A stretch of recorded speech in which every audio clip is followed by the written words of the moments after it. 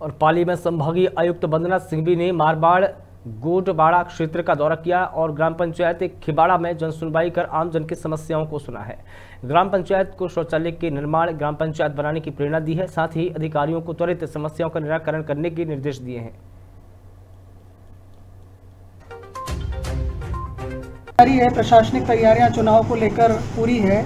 इस आपके चैनल के माध्यम से मैं आप सभी से निवेदन करना चाहूँगी कि अभी मतदाता पुनरीक्षण,